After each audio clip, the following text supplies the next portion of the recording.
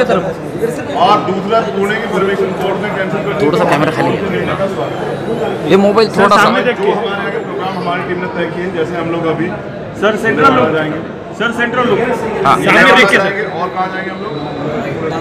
लाल महल जाएँगे जो दो तीन प्रोग्राम हमारे हैं। सतगुरु रविदास जी का धाम है वहाँ जाएँगे। उन पे नॉर्मल तरीके से हम लोग जाने काम करेंगे। हमारा उद्देश्य लॉ एंड ऑर्डर बिगाड़ना नहीं है। लेकिन जिस तरह से हमें महसूस हो रहा है हमारी आवाज़ को दबाया जा रहा है तो ये स्पष्ट हो चुका कि यहाँ लोकतंत्र नहीं है यहाँ राजतंत्र है जिसमें यहाँ की सरकार संविधान की हत्या कर रही है और संविधान समर्थक कुछ लोग जो उनके पास ही रहते हैं वो चुप है। बीमा सर सेंट्रल हाँ भीमा कोरेगांव जाऊँगा हंड्रेड परसेंट जाऊँगा। कोई भी कितनी भी ताकत लगा मुझे भीमा कोरे से गाँव से रोका नहीं जा सकता। मिलाकर कहा जा रहा है कि लॉ एंड ऑर्डर की बात कही जा रही है कानून व्यवस्था बिगड़ने के कारण बताया जा रहा है। क्या इस तरह से जो माहौल पहले से भी इसी बात इसी वक्त क्यों आया पहले यहाँ की टीम ने बुलाया तो हम इसी वक्त यार वैसे भी बाबा साहब जाते थे भीमा कोरेगांव इसलिए मैं भीमा कोरेगांव जाऊँगा। वो हमारे सूर्य का प्रतीक है और वहाँ जाने से मुझे कोई नुकसान लेकिन एक बहुत बुरी घटना जो लोगों ने की यहाँ के प्रशासन ने बाबा साहब की समाधि के पास से मुझे उठा के लेके आना अरेस्ट करना डिटेन करना ये गलत था।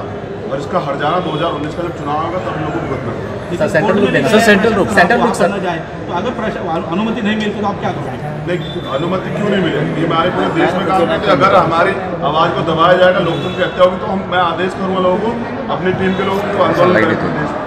ये सरकार इन्होंने कल भी मुझे इसलिए छोड़ा क्योंकि बहुजनों ने दबाव बनाया पूरे देश से कि ऐसा क्यों हो रहा है लोकतंत्र की हत्या क्यों हो रही है? तो क्या किस तरह का आंदोलन रहेगा? अब आंदोलन ये मीडिया के पता लग जाए जैसे भी कहीं बंद होगा तो मीडिया को जानकारी मिलेगी। पुणे यूनिवर्सिटी में आपकी सेंटर सभा थी लेकिन उसको परमिशन नहीं मिली है लेकिन पुणे यूनिवर्सिटी के जो छात्र हैं उनसे आप।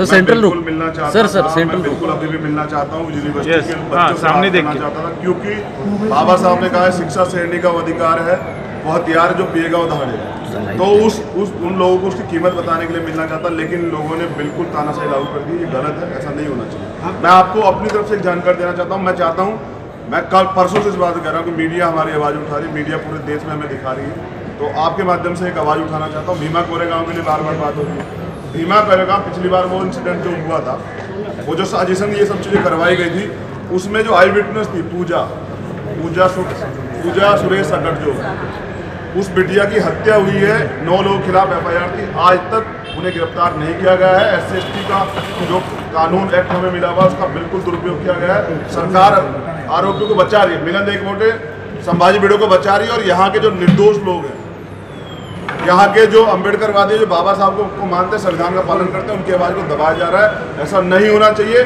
फूलेवाड़ा फूले फूले जी ने जो पहला स्कूल माँ सावित्रीबाई फूले ने खोला था आज तक भी उसको चालू नहीं किया गया है उसकी व्यवस्था नहीं देखी जा रही है तो गलत है। एक तरह से बिल्कुल पूरी आवाज़ को दबाया जा रहा है।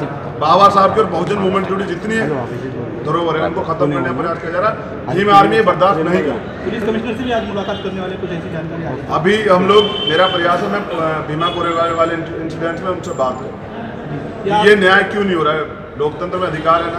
अपनी बात को रखने का। मैं पूछूँगा ऐसा क्यों नहीं महल जाने की परमिशन आपको मिली? वहाँ पर भी क्योंकि वो भी किस चीज़ की परमिशन क्योंकि कई बार ऐसा ही हो रहा है। सवाल ये किस चीज़ की परमिशन मैं कोई अपराधी हूँ? मैं कोई टेररिस्ट हूँ देश में? मैं संविधान को मानता हूँ एज ए एडवोकेट मुझे परमिशन लेने की ज़रूरत नहीं है। मैं भारत का स्वतंत्र नागरिक पूरे भारत में कहीं मैं गुलाम हूँ क्या?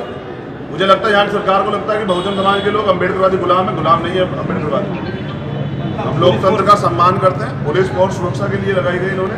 अगर ये रोकने का प्रयास करेंगे तो उनसे भी बात की जाएगी तो महाराष्ट्र में बहुत सारे दलित संगठन आपस में एक एक साथ आते नहीं है उसकी वजह से वोट बिखर जाते हैं तो इलेक्शन के मद्देनजर आप सब एक साथ आने का सोचते हैं? देखिए मैं अभी तो भीमा कोरेगांव दर्शन करने के लिए सर लुक इधर। सेंट्रल लोग अगर- देख के।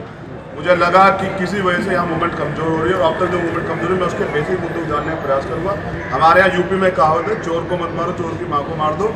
जो मेन समस्या है, उसको खत्म करके मैं यहाँ बहुजन सरकार बनवाने में मदद करूँगा। मैं खुद ही को चुनाव नहीं लड़ने वाला, लेकिन मैं चाहता हूँ कि बहुजन समाज के योग्य व्यक्ति उन कुर्सियों पर जाएँ क्योंकि जिन कुर्सियों का दुरुपयोग दुरुपयोग आज की सरकार कर रही है, लोकतंत्र की हत्या कर रही है, संविधान की हत्या कर रही है, भीम आर्मी का निर्माण सिर्फ़ इसी उद्देश्य से हुआ था कि संविधान की सुरक्षा की और बहुजन समाज के अधिकारों को उनको दिलाया जाए। लेकिन आज हमें महसूस हो रहा है, महाराष्ट्र में तो पूर्ण रूप से तानाशाही लागू है, राजशाही लागू है, ये नहीं चलने जाएगा। भारत में लोकतंत्र, संविधान है, उसको सुरक्षित रखा जाएगा बरिपा बहुजन महासंघ के प्रकाश आंबेडकर है वो सीएम के लिए दावेदारी मांग रहे हैं संगठन मज़बूत होगा तो इलेक्शन लड़ेंगे क्या संगठन मज़बूत होगा तो संगठन तय करेगा क्योंकि संगठन जो है वो समाज से जो समाज कहेगा वो किया जाएगा। अगर समाज ने कहा कि चुनाव में पार्टिसिपेट करना तो किया जाएगा। यहाँ की ब्राह्मणवादी व्यवस्था यहाँ के दलित मराठा को आपस में लड़ा। अब मैं उसे होने नहीं दूँगा। मैं अपने मराठा भाइयों से भी निवेदन करूँगा कि हम सब लोग एक हैं और वो लड़ाई भी हम सब लोगों ने मिलकर लड़ी थी। तो वो पेशवाओं के खिलाफ लड़ाई थी वो लड़ाई मराठों के खिलाफ नहीं जो लोग यहाँ झूठी चीज़ें फैला रहे हैं उसको रोकने का प्रयास करूँगा। बड़ा प्रेम बनाऊँगा यहाँ के बहुजन समाज के लोगों में। और लिख के देता हूँ अगर मजबूती से सब समय सब लोगों ने काम किया तो यहाँ सरकार पहुँचेगी। धन्यवाद। ओके।